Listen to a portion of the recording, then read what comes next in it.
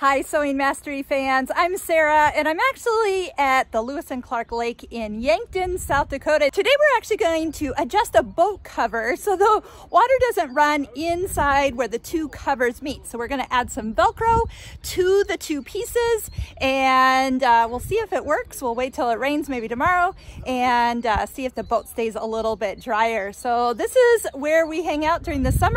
Um, there's sailboats, there's power boats, there's all sorts of fun going on. Now that the sun is out, you might need to know a few things about repairing or working on boat covers. We're going to use this really thick needle, longer stitch length, and some UV thread, which we ordered special in for this project. So I can't wait to show you how it turned out.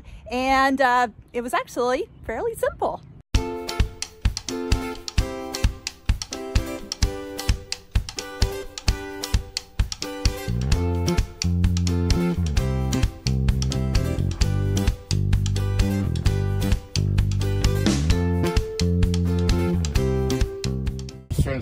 Decide if I can reach this or I'm gonna fall in. Oh. Oh, give it a try.